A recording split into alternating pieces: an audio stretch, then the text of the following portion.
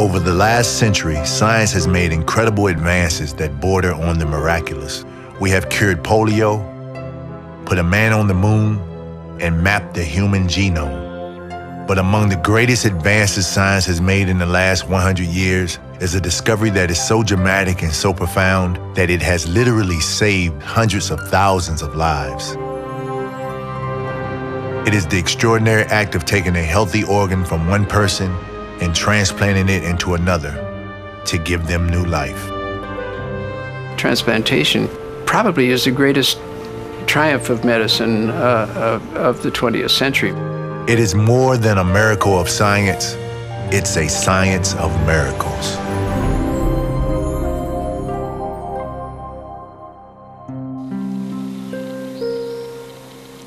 Ashley Brooks has had a life threatening heart condition since birth, and now at age 20 is awaiting the miracle of transplantation. She'd be lagging behind, and we always thought it was just an excuse, but um, she'd say her heart hurt, or she was tired, or she was out of breath, and so I, we didn't really understand that it was, you know, she wasn't putting us on. It really was her heart. You can do it. She was born with a heart problem, but when she was first born, they misdiagnosed her and told us that she would die at any time and we should join a support group, and it was pretty scary. And then in first grade, when she was old enough, they diagnosed her with that. Uh, Ashley has a restrictive cardiomyopathy, and with that condition, the heart doesn't fill well with blood. The way Dr. Balfour explains that it's like a turkey baster. You know how you can close it, but it and then it opens and it sucks it in. Well, her heart closes okay, but it doesn't open all the way. The wall is getting thicker and it's getting harder as she gets older, so it doesn't work like this. This is a heart here in 91, and if you compare it, it's enlarged here, and the the lungs are not as clear. She has fluid collecting in her lungs as a result of a worsening of the condition. You feel like crud all the time, you know, you don't get to do anything. The rest of your body's not getting enough oxygen, and it's just basically there's no cure for it except for at end stage illness, you get a heart transplant. During her senior year in high school, Ashley suffered several small strokes, which caused her doctor to put her on the transplant list. It was kind of a shock right then, you know, because it was my senior year. I was getting ready to go to college, and I've been on the waiting list. It will be two years this month. She's receiving home uh, inotropic drugs to stimulate her heart muscle cells to function in a more efficient manner. And she's on a continuous infusion of those drugs at home. And in addition, she has a device implanted which is called a AICD, which is a device that's used to prevent any abnormal lethal heart rhythm from occurring. Because the medicine she's on, it can cause her to have arrhythmias, which are irregular heartbeats. And um, if she does that, then the pacemaker will fire. People that need a transplant, they're looking death in the face. It's slow death. And they get up every morning and look in the mirror and brush their teeth and know that they may not live to see the end of the day because they're waiting for a transplant. They're taking my child's heart out. That's a pretty scary thing. You know, and putting a new one in and you want it to start beating right away and and then the other scary part is afterwards that it doesn't reject you know, and that your body's going to say, okay, I'll keep you. You know, you can work inside me. The heart transplant that Ashley Brooks is counting on to save her life is a paragon of medical science that has been meticulously developed over the past 50 years.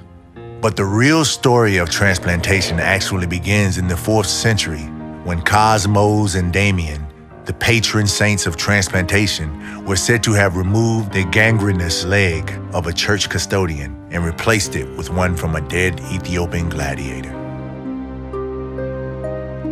It wasn't until the turn of the 20th century that a French surgeon named Alex Carrel devised a method for connecting blood vessels using silk thread and techniques that he learned from a seamstress.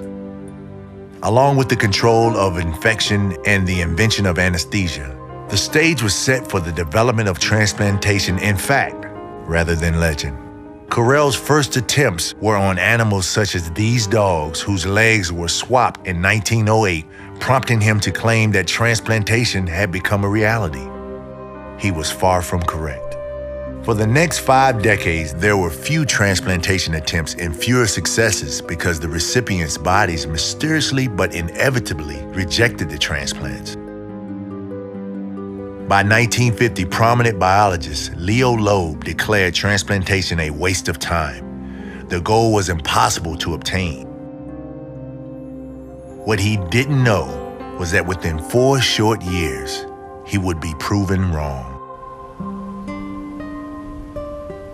In Stockton, California, Alex and Grace Lopez are facing the challenge of transplantation. After the birth of their second child, Grace Lopez developed an autoimmune disease that attacked her liver. And the doctor, we talked to him, and then he says, Well, you know, this is what you got, and, you know, eventually you're gonna need a liver transplant, or if not, you know, die. We're not here at a point where she needs a liver. Yeah, my little boy, he's seven. He's like, Mom, when are you gonna get your new liver? When are you gonna go to the hospital to go get it? I don't think he quite understands. I prayed last night that God's gonna give you a good liver, Mom, real soon. So I tell him, keep praying. Keep praying. God has a good plan for us. In the early 1950s, there would have been no hope for Grace Lopez. But it was the suffering of patients like her that prompted a team of visionary doctors, led by George Thorn at Peter Bent Brigham Hospital in Boston, to set about solving the mysteries of transplantation step by step. Like so many things, it takes a lot of courage to go beyond step one. You have to have real confidence that what you're after is worth the effort and that there's a chance that you will be successful. With the approval of Dr. Thorn, a young surgical resident named David Hume performed nine experimental kidney transplants between 1951 and 53. He implanted kidneys into the thighs of nine patients, but none of the patients survived because their bodies rejected the new kidneys. And no one understood why. Then a young surgeon on the experimental transplant team in Boston named Joe Murray made history by acting on a brilliant insight. The big problem, of course, is the rejection of the foreign organ.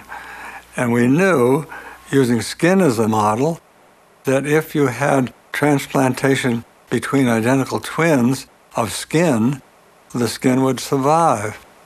However, we uh, didn't have any twins to operate upon until the Herrick twins happened to be referred to us in 1954.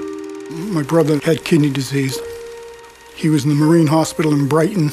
The doctor there, they said they couldn't do anything about it. My older brother said to the doctor, too bad I could, couldn't give him one of my kidneys.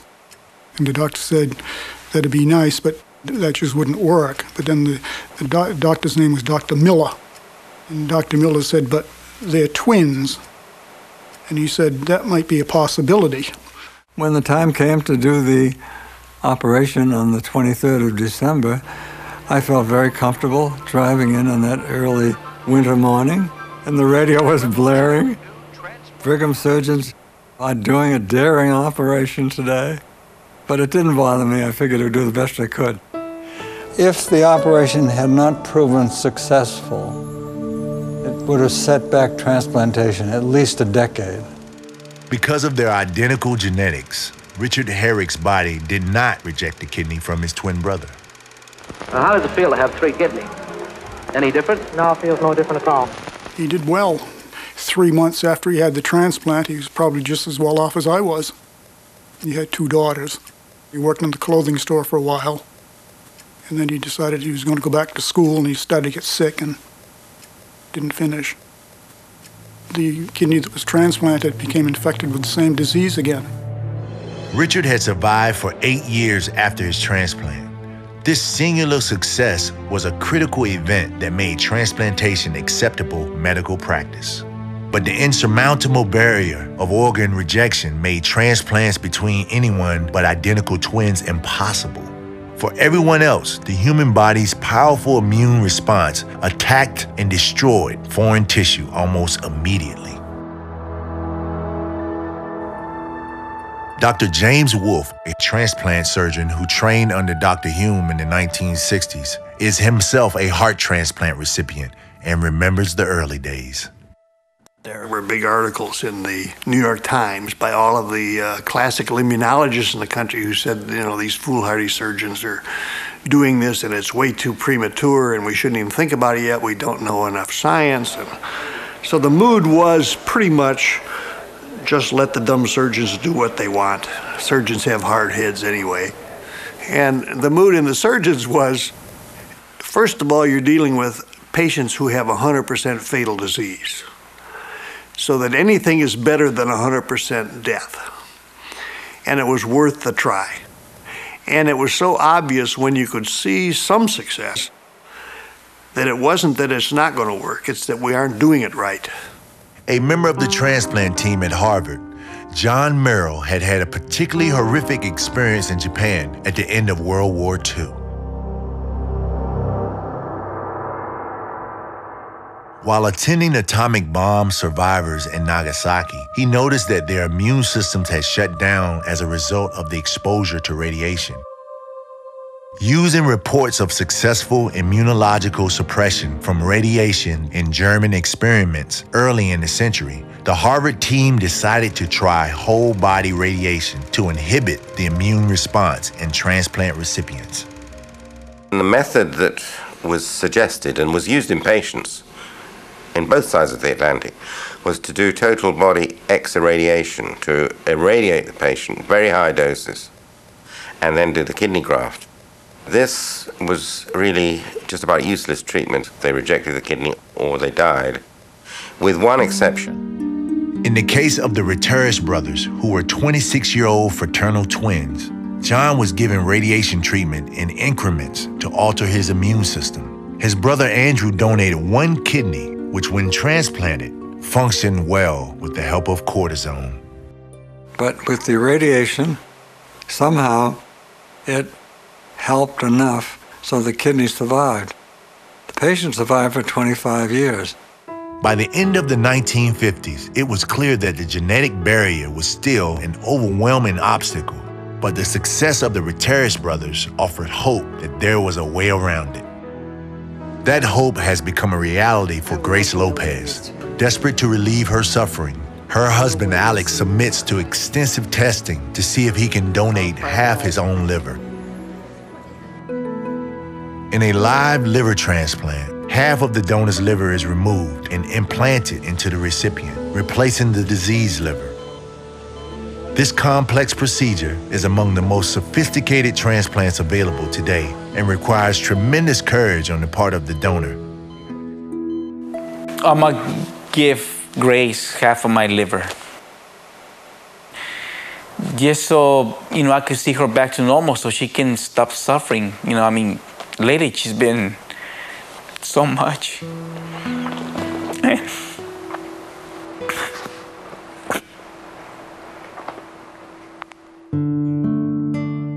soon as he found out that he can qualify for one, a live donor, he jumped on it.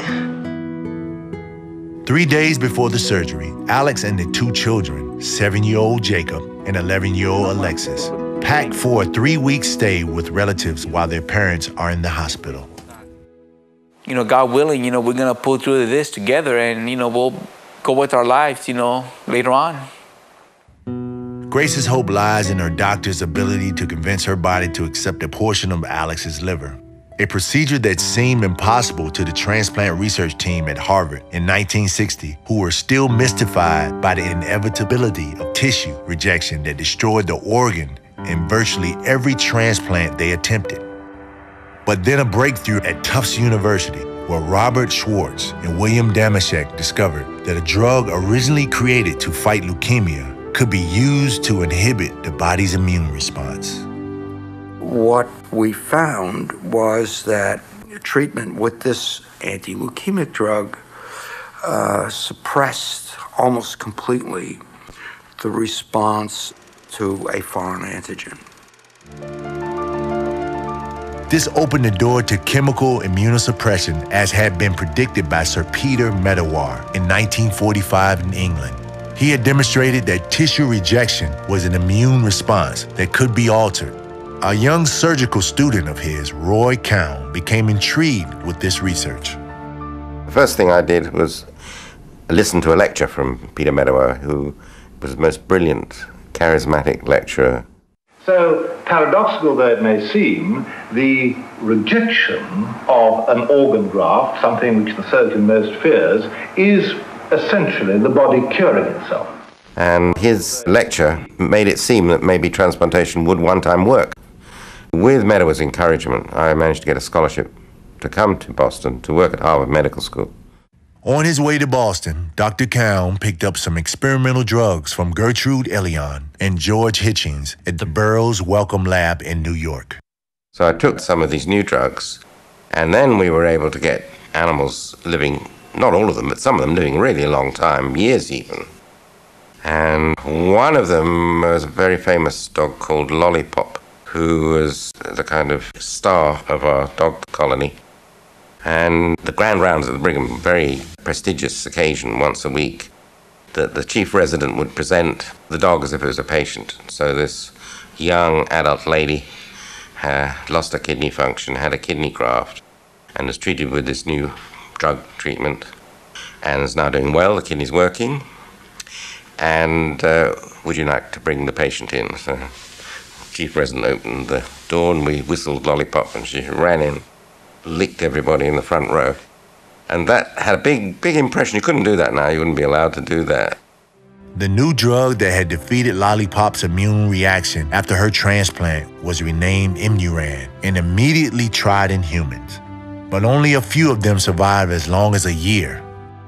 The secrets of the body's immune system had yet to be unlocked.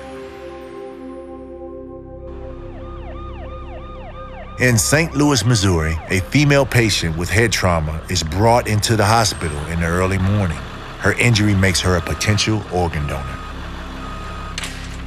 The donor was brought in at like 1 in the morning and was pronounced brain dead at 1 in the afternoon. Um, we got the call about, I got it about 1230 and called Dr. Balfour and he spoke with Dr. Fiore and they decided to accept it then. At about 1.20 in the morning, Erin called. And she said, Patty, this is Erin. Happy Father's Day. And I was like, oh my gosh. And so then um, she said, go get Ashley. So I woke her up and I ran in and I went, Ashley, you got a heart. And she was like, you know, she was asleep and she didn't know what was going on. But I actually haven't been feeling my best lately. I've been really tired and dragging and um, just I've been getting a lot of fluid on my lungs. So it's really hard for me to breathe. So I'm kind of glad it's coming when it is. 25 months after being listed for a heart transplant, Ashley's long wait is over. This is the UNOS list that shows Ashley. A crucial first step in any transplant is making sure the immune reaction to the donated organ can be controlled. The breakthrough in this process was discovered by a brilliant young surgeon named Thomas Starzl, working at the University of Colorado. We turned our attention to studies of kidney transplantation almost exclusively uh, starting in the spring of uh, 1962. And the observations were um, that you could reverse rejections that developed under Imuran uh, with steroids. This simple yet amazing discovery permitted Dr. Starzl and his team to transplant kidneys into several people who are still alive more than 40 years later transplantation of human organs had finally become clinically viable as a long term cure for disease. And suddenly we uh, had this huge burst of uh, successful kidneys, and uh, it was totally unexpected. Caught everybody with their pants down, probably even including ourselves. the curious thing was that no one knew uh, why things had succeeded. I mean, for at least the next 30 years it was inapparent uh, uh, why organ transplantation should work at all. It was that's a great mystery.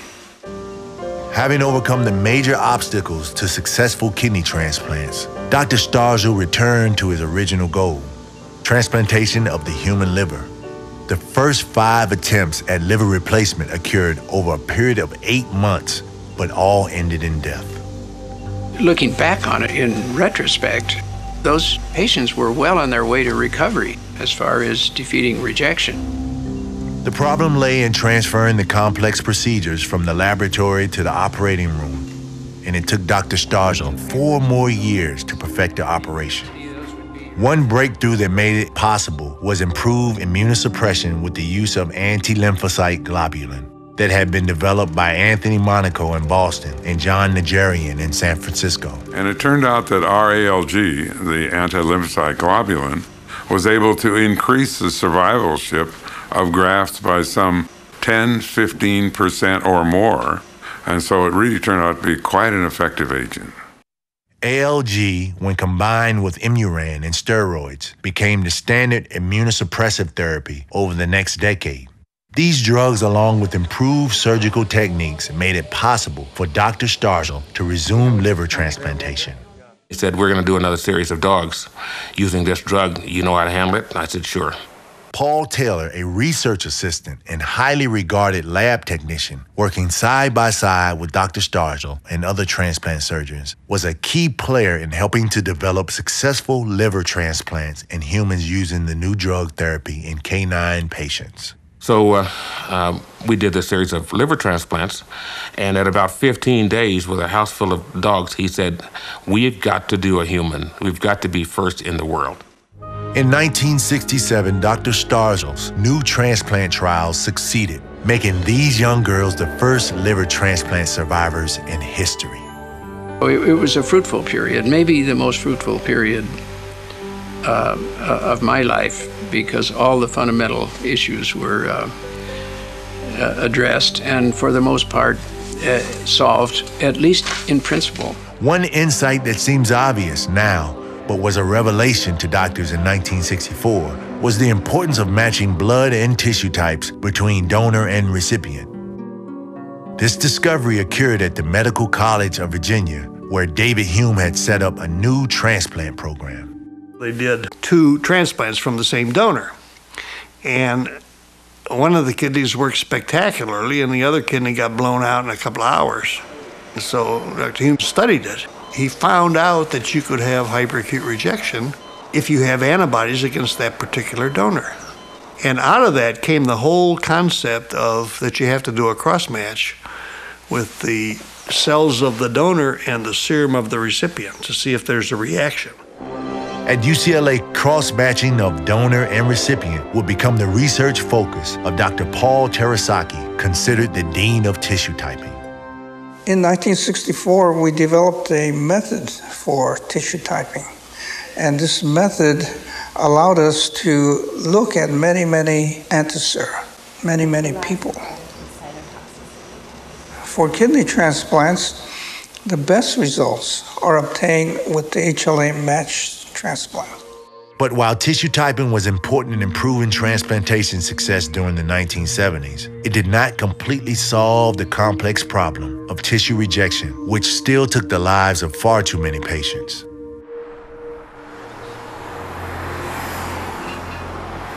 In San Francisco, Grace Lopez's condition is deteriorating so dramatically that the day before she is to receive half her husband's liver, her doctors have to change their plans. And because of my kidneys have gotten worse and weakened, we cannot do the live donor at this time. Because of Grace's failing kidneys, she will need a kidney transplant in addition to the liver. So a live transplant from her husband is out of the question. She is placed on the waiting list for a combined liver and kidney from a deceased donor. But as of right now, my score is so high MELD score for a whole liver. It's gotten high to where I can qualify for one. So, the way our system works in the United States, patients are given points for being ill.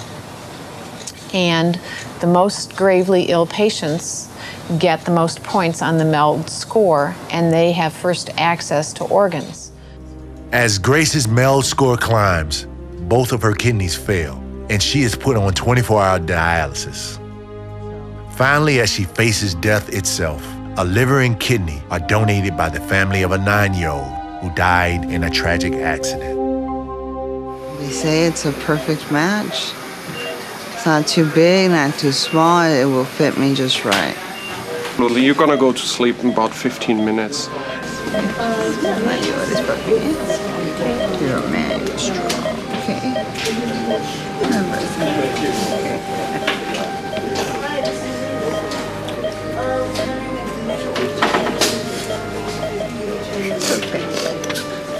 Okay, baby. You late. 11:15. I'll be waiting for you.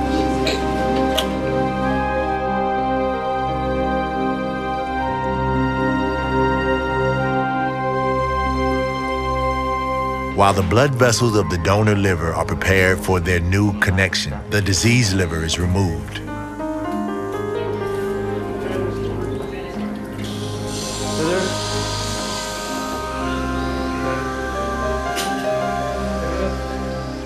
After the new liver is connected and perfused with blood, the new kidney is placed in the lower abdomen, leaving the diseased kidneys in place. It soon produces urine. Altogether, the double transplant surgery takes 10 hours. Everything went fine. Everything looks good? Yeah, no problems. You know, the operation went very, very well. I think the liver's already working, and uh, the kidney looks like it's probably going to perk up too. Excellent organs, but right now she's very stable and everything's going well. The double transplant of a liver and a kidney that saved Grace's life follow essentially the same procedures developed by Dr. Starzl and others almost 40 years ago. With those breakthroughs, the demand for organs increased dramatically, making it essential to develop ways to preserve organs outside of the human body so they could be transported from donors to recipients who were often many hours away. In 1966, Folkert Belzer, a Dutch immigrant who became a transplant surgeon at the University of California, San Francisco, developed a preservation technique that allowed donated kidneys to be kept in a viable condition for 72 hours. It came to be known as the Belzer machine. This huge 400 pound preservation machine. So we rolled it on the lift gate and put it inside of the van and tie it down. And uh, we would transport organs within a 300 mile radius of Richmond, take it into hospitals. That worked very well. Later at the University of Wisconsin, Belzer developed a new preservation solution that kept organs viable for three times longer than had been possible before.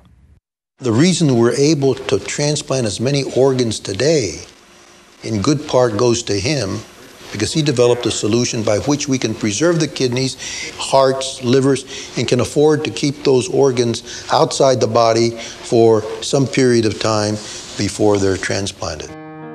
Ironically, new successes in surgery and immunosuppression and the ability to preserve and transport organs created a new problem an ever increasing demand for healthy organs. In the late 1960s, some relief to this shortage resulted from a new definition of death created at Harvard in order to relieve the suffering of terminally ill patients. So I went to the dean of the medical school and said we should define death in terms of brain function rather than heart or lung function. And so Dean Ebert set up a committee, and there were about 15 of us on it, and tried to define death in terms of cessation of brain function. And they considered just what should be the ingredients of the diagnosis of brain death that would be utterly reliable so that when you found these changes in a patient, you could say that patient will never live again. That you can sustain the body for a period of time, but that the patient would never wake up and would never have a life after that.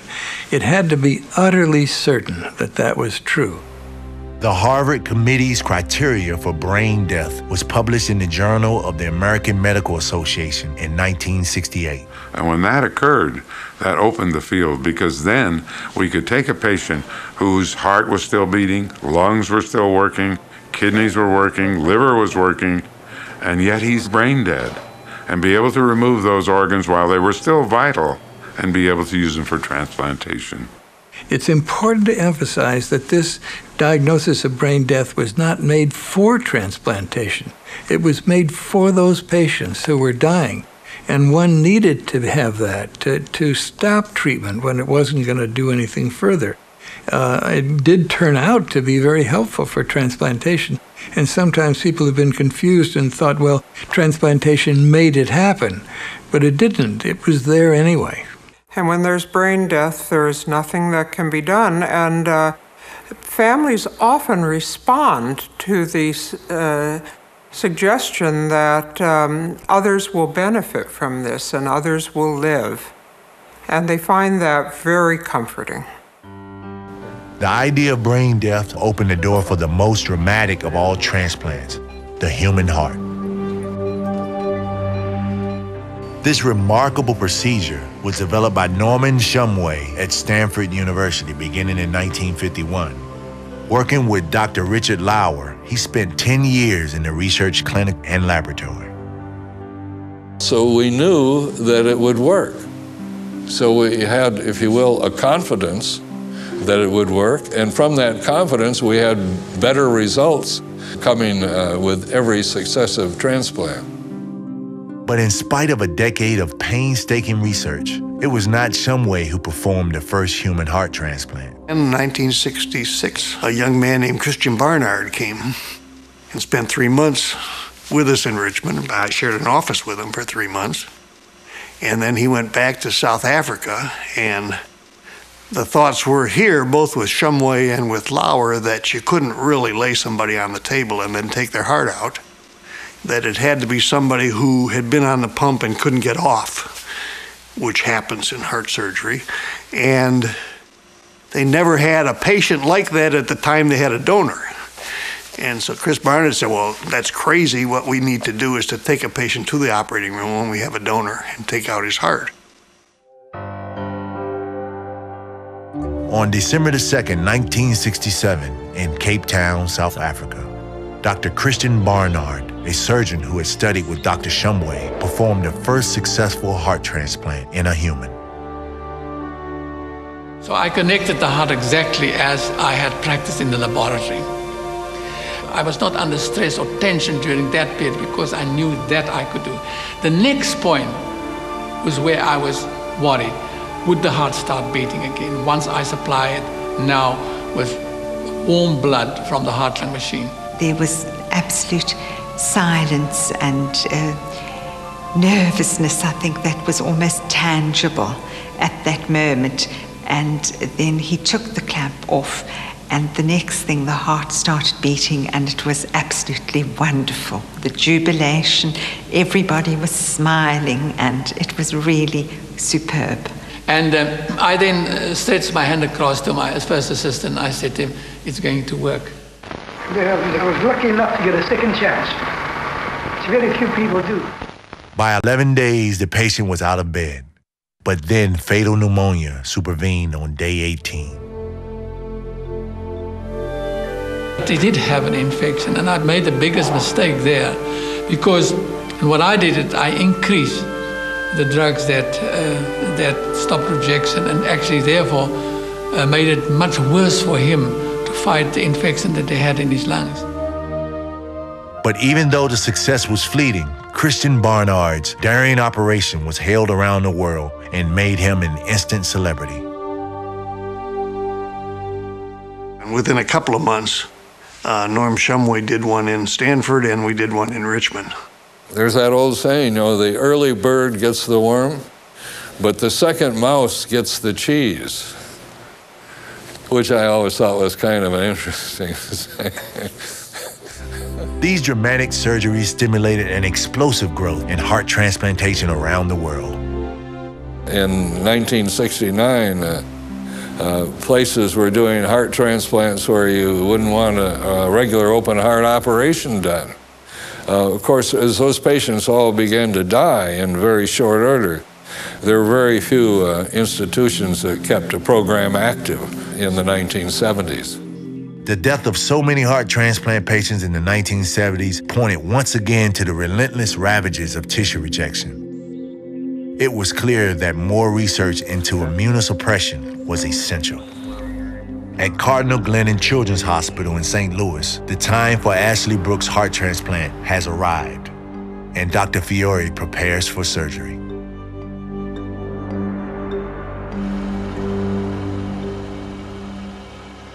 The technique has been around since the 60s and it was developed by predominantly Richard Lower and Norm Shumway. Together, uh, worked out the details, and the technique is pretty much, not precisely, but pretty much unchanged. The actual surgery takes several hours. Once you receive the heart, it doesn't take really very long to implant it, especially in this case where the anatomy is normal. The anesthesiologists prepare Ashley for surgery. Meanwhile, across town, the organ recovery team working on the donor discover a nodule in the abdomen, which could halt the transplant if it is found to be cancerous. Cancer makes any transplant impossible because it complicates the administration of immunosuppressive drugs.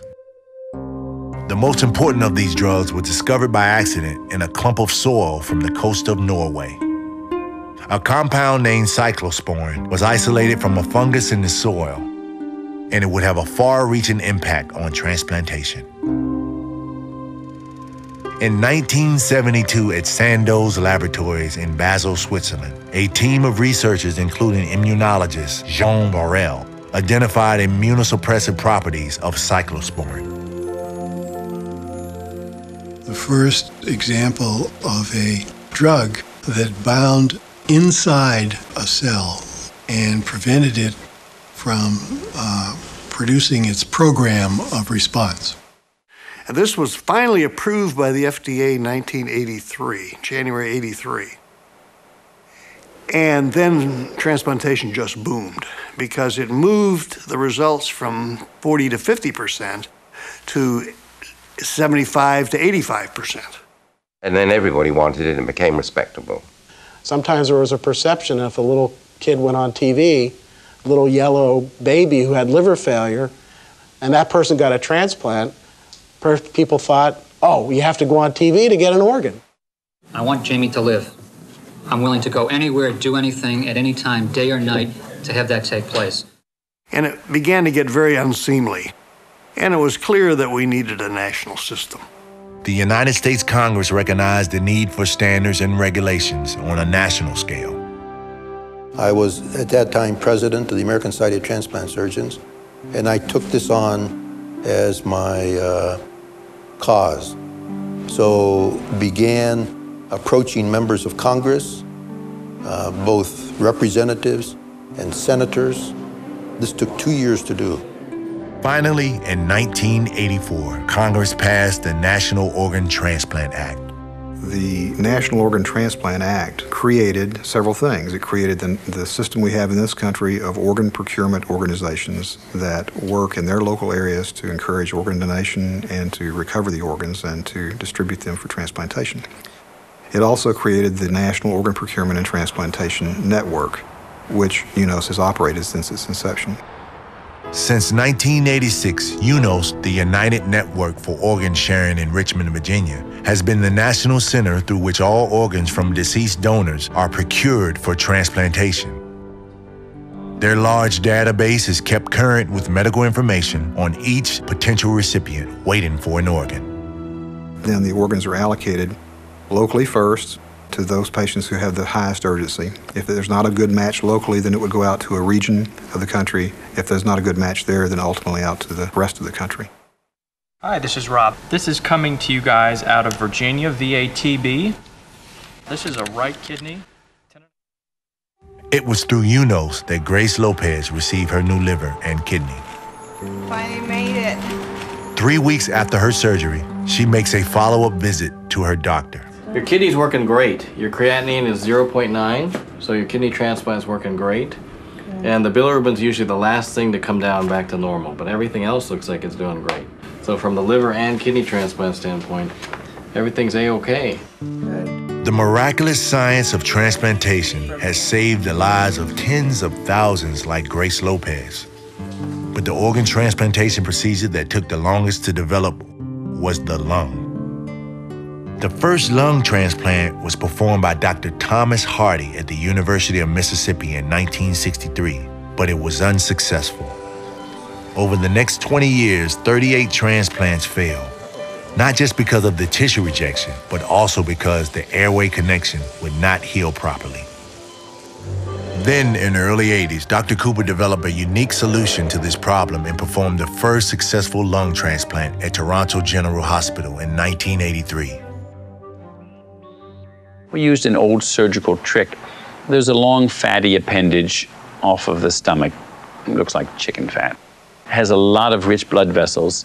It's very mobile and it can be taken, still attached to its blood supply, to various parts of the body to bring in new blood supply.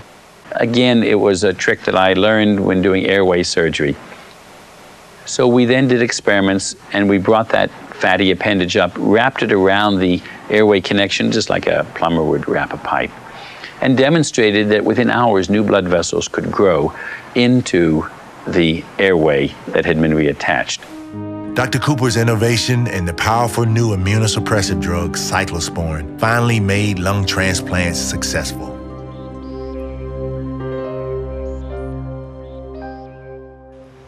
In St. Louis, as Ashley's chest is prepared, pathology reports show the donor does not have cancer and her heart transplant can proceed. All right, ready? Here we go. We're tying off Heparin's in. At this moment, called the cross clamp, the donor's heart is stopped and removed.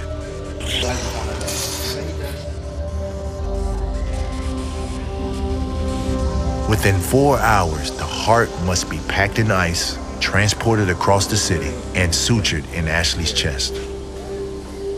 If all goes well, the transplanted heart will start beating on its own when it fills with warm blood.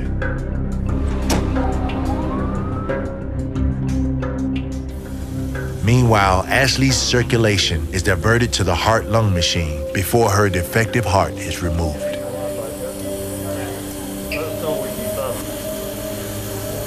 Let me know when you've given five, three or four hundred.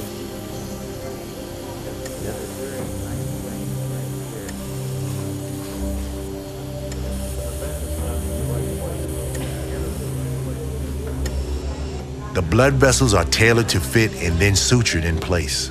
It's not bad, is it, Rick? Using electrical paddles, the heart is stimulated to start beating after it is perfused with blood. And soon a normal rhythm is achieved. By 8.15 in the evening, the surgery is completed and Dr. Fiore meets with Ashley's family. Everything looks really good so far. The rhythm's normal, there's no bleeding, the heart function is good, and the valves are working normally. There's a lot of people keeping a close eye on her back there. The complex surgery replacing Ashley's heart appears to be successful. But another challenge lies ahead for the transplant team, preventing her body from rejecting the new organ. It's, it's a fine line. They do really well, but it's a it's a it's a um, an incredible effort by a lot of other doctors and nurses after the surgeon implants this. This had been true from the very beginning of transplantation when doctors learned that medical care after the transplant was as important as the transplant itself in keeping patients alive. The surgery itself was easy enough. It's taking care of the patients and running this line between too much immunosuppression and not enough, and uh, taking care of the complications.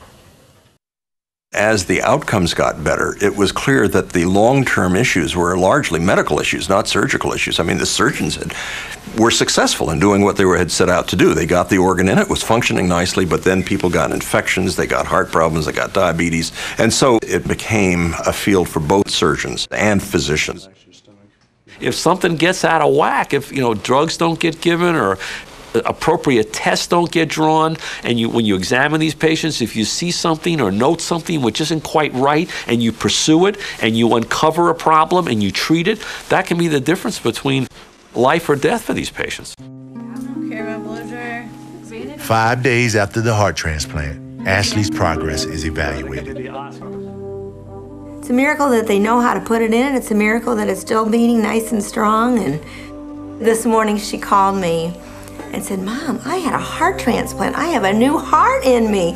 And she was really, I think that's the first time it really dawned on her that she was, you know, gonna be okay.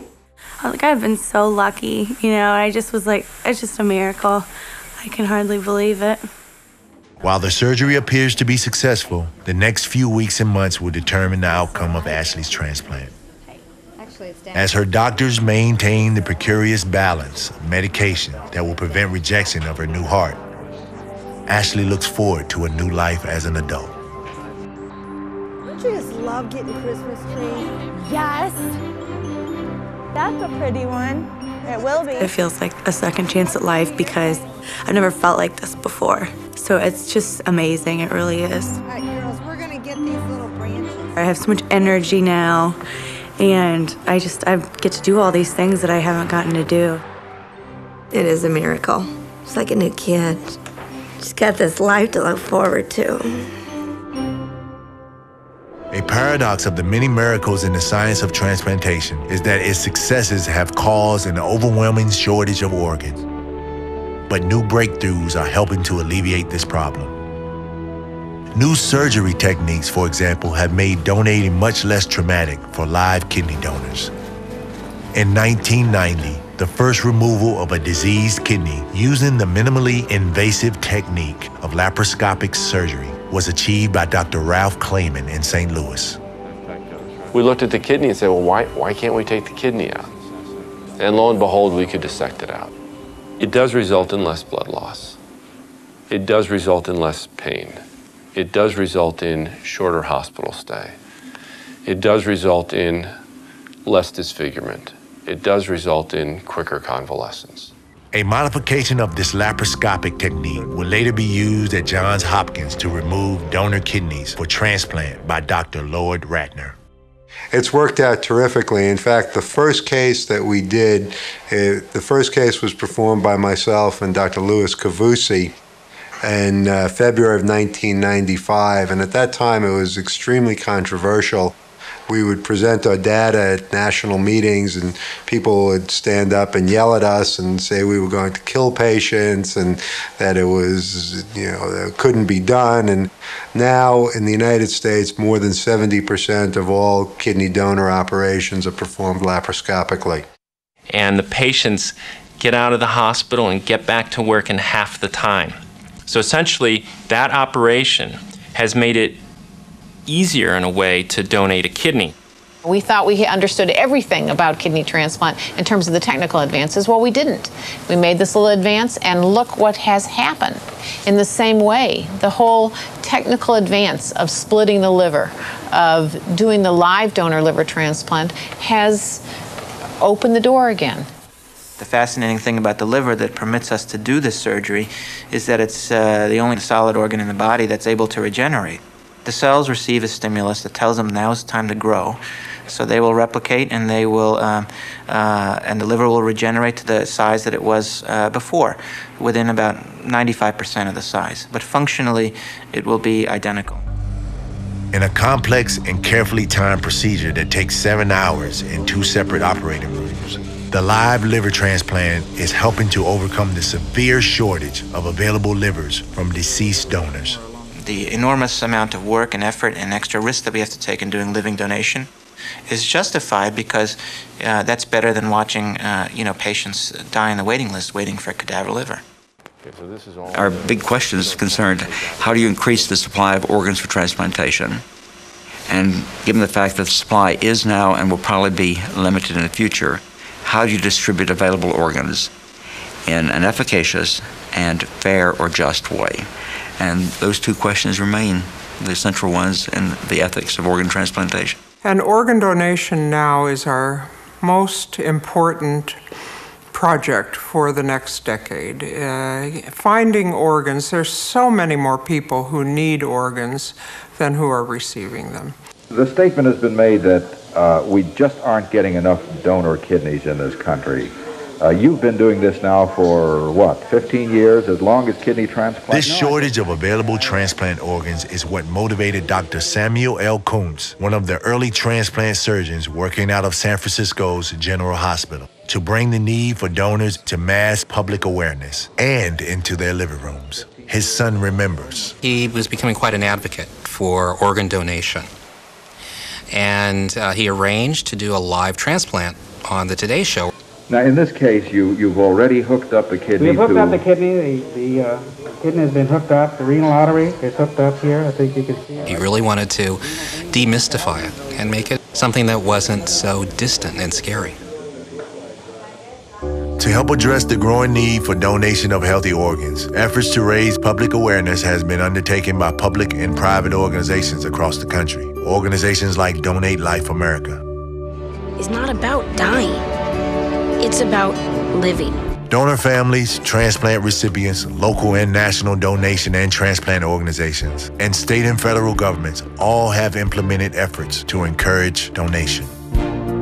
In fact, the U.S. Department of Health and Human Services recently implemented three breakthrough collaborations involving hundreds of healthcare facilities in the donation community to focus intensively on increasing donation within the nation's hospitals.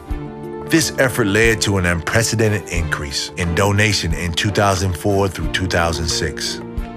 But sadly, despite all these efforts, the donation of healthy organs still lags far behind the nation's growing need.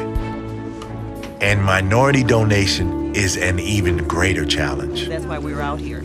We're out here trying to alleviate some of the fears and misconceptions surrounding this issue. Many African Americans have myths and misperceptions about why they don't want to donate. And Dr. Callender was able to quantify those misperceptions and say these are the things we need to change through education. MOTEP is the National Minority Organ Tissue Transplant Education Program. And uh, because of that effort now, uh, more than 50% of the donors that, for the kidneys that our patients receive at Howard are from African Americans. Although the efforts of MOTEP have increased minority donations significantly at Howard University, in most other areas of the United States, there are still disproportionately low numbers of minority donors compared to minorities who are waiting for transplants. On the waiting list here in Alabama, nearly 80% of those waiting for a kidney transplant are African American. Yet still, less than 15% of all donor organs come from African Americans. And so I appeal to you that we need more African Americans to be organ donors.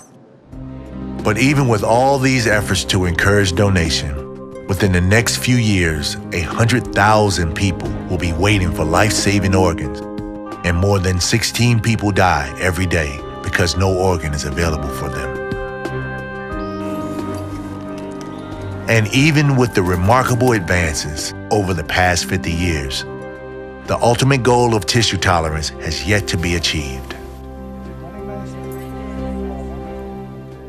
The research today is looking for tolerance, which is the ideal. It's uh, something that we refer to as a holy grail of transplantation. In other words, is it possible that we can make individuals tolerant to the point that they will not require immunosuppressive drugs? Looking at the past 50 years, I look at it as a, as, as a climb towards the top of the mountain to achieve a perfect transplant. So, if a blind mountain climber could scale Mount Everest, I'm sure we can reach the top of the mountain and achieve that perfect transplant. I've often said that everything we've done up to this point is just a drop in the bucket. This is a prelude to the real era of transplantation. But there are still major problems. The biggest obstacle to long term success is rejection or the complications of immunosuppressive drugs. The biggest obstacle to getting a transplant is the insufficient number of donor organs. That problem is going to be a little more difficult. The future looks bright for Grace Lopez. Six months after her double transplant, her family and friends join her to celebrate her 37th birthday and the beginning of a new life.